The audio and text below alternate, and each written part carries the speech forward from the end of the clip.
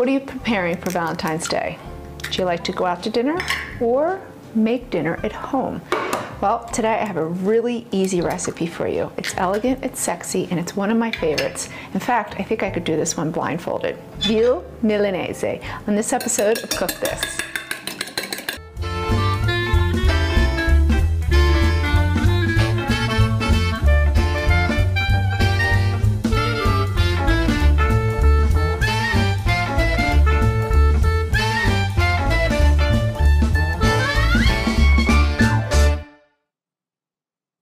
Hey guys, I'm Shereen. Today I'm making one of my favorites, veal milanese, which basically is veal cutlets. I'm just gonna drown them in a little bit of egg wash, shake off the excess, then dip them in some breadcrumbs. Sometimes I add flour before I'll dip it in the eggs. Sometimes I don't. The difference really is it creates a crust that separates from the actual veal itself.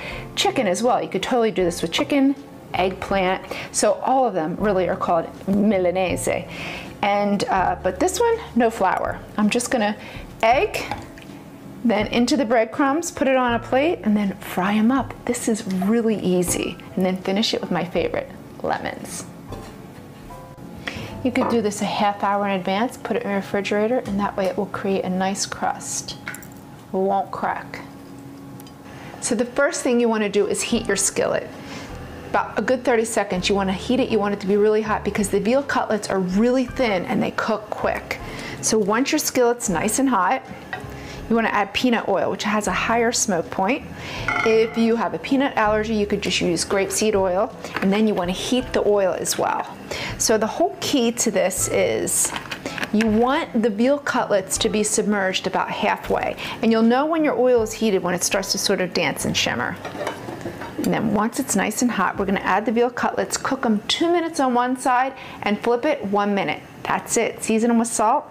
That's pretty much it. And that's the sound you wanna hear. It has to sizzle.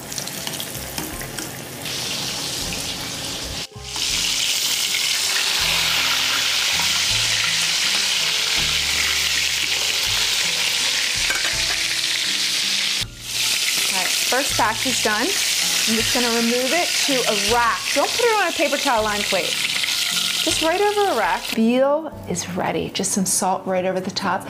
And then can't forget to finish it with freshly squeezed lemon. So these are my father-in-law's lemons that he took care of for me. Boy, he did a great job. So I do this any night of the week with chicken, but veal makes it extra special. Make this for Valentine's Day for your loved ones. They will love you for it. For the recipe, go to the newspaper's website, or for more of my fresh and easy recipes, check out tweetneats.com.